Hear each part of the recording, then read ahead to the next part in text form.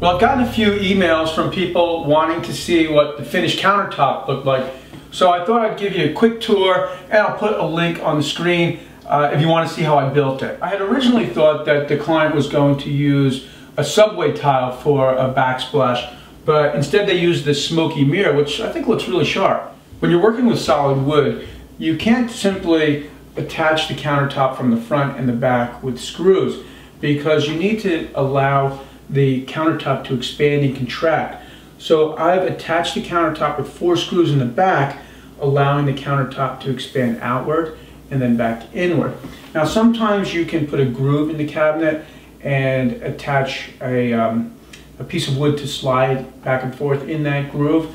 But in this case I couldn't do that because there's a wine refrigerator uh, below the countertop and there just wasn't space for it. To attach the countertop I used four L brackets. And they're just the simple kind of L brackets that you can get at any hardware store. I'll see if I can get a shot. It's a little bit dark there, but I think you can see it.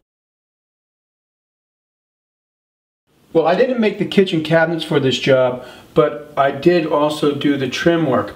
And my friend Steve suggested that I use a piece of aluminum flashing and put it underneath the molding and that would make it easier for him to paint the molding and also it keeps the the molding just a little bit off that countertop so again the countertop can expand and contract. Alright well if you're one of those people wondering how that countertop ever turned out here it is. Uh, again I'll put a link on the screen if you want to go back and see how I built it and I'll also put a link on the screen to see how I finished the countertop.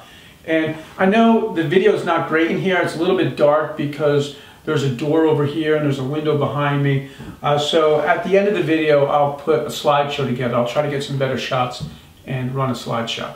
Thanks for tuning in. I'll see you next time.